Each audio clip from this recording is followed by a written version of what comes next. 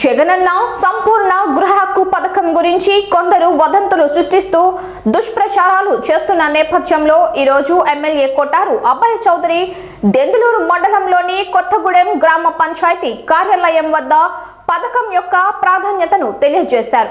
పేద ప్రజల సాధక బాధలను దృష్టిలో పెట్టుకుని ప్రభుత్వం నిర్ణయించిన అతి తక్కువ మొత్తంను ఏకకాలంలో చెల్లించిన వారికి పూర్తి రుణమాఫీతో పాటు ఎటువంటి రుసుము లేకుండా వారి స్థిరాస్తిపై సర్వ హక్కులను కలుగ చేయాలనే సదుద్దేశంతో జగనన్న ప్రభుత్వం ఈ పథకాన్ని అమలు చేయ తలపెట్టిందని ఎమ్మెల్యే ప్రజలకు వివరించడం జరిగింది.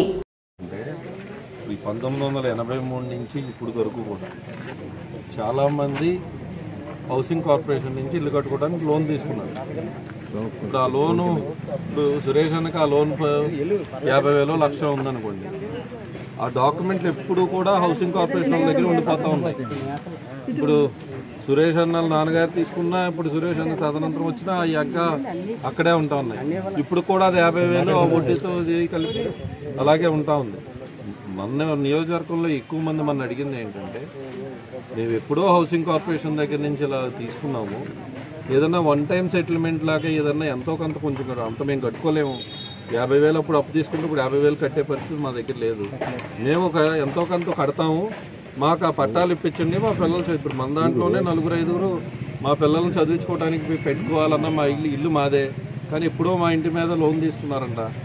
అదే యాభై వేల లక్ష ఉందని ఆ డాక్యుమెంట్ ఇప్పుడు కూడా హౌసింగ్ కార్పొరేషన్ దగ్గర. దాని గురించి ఏం చెప్తున్నాం అంటే మీరు పదివేల రూపాయలు కట్టండి చాలు. మన దగ్గర న్యూ న్యాయంపల్లో ఇక్కడ మన వాళ్ళు అడిగితేనే ఈ లెటర్ పెట్టాం. వాళ్ళందరూ బెనిఫిషరీస్ పెట్టి ఇలా మాకు కావాలి అని. అంటే ఇప్పుడు సురేష్ అన్నకి యాభై వేలు ఉన్నా కూడా హౌసింగ్ కార్పొరేషన్ దగ్గర అప్పు. పదివేలు కడితే చాలు. పదివేలు కడితే ఆ పట్టా రిజిస్టర్ చేసి మరి. సురేష్ అన్న పేరు మీద అక్కడ ఆ ఇంటిని రిజిస్టర్ చేసి మరి సురేష్ అన్న చేతిలో పెడతారు. మళ్ళీ సురేష్ అన్న దాన్ని తీసుకుని చక్కగా ఏదైనా బ్యాంక్ వెళ్ళినా రెండు రెండు లక్షలు మూడు లక్షలు మళ్ళీ అప్పు కూడా తెచ్చుకోవచ్చు. అంటే ఇక నీకు బ్యాంక్ నుంచి నీకేమీ అప్పు లేకుండా ఆ పట్టాలు నీ చేతిలోకి వచ్చేస్తాయి.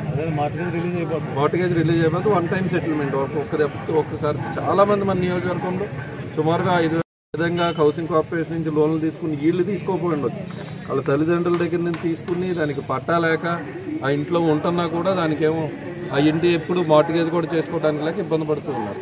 వాళ్ళ గురికి బాగా ఉపయోగం ఎవరికైతే యాభై వేలు ఉండండి లక్ష రూపాయలు ఉన్న వాళ్ళు ఉన్నారు లక్షన్నర వాళ్ళు ఉన్నారు ముప్పై వేలు ఉన్నారు. ఎవరైనా సరే పదివేలు కడితే చాలు.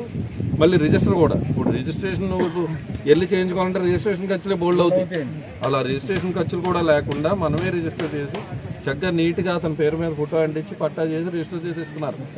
ఆ విధంగా ఒక ఉపయోగం ఉంటుంది.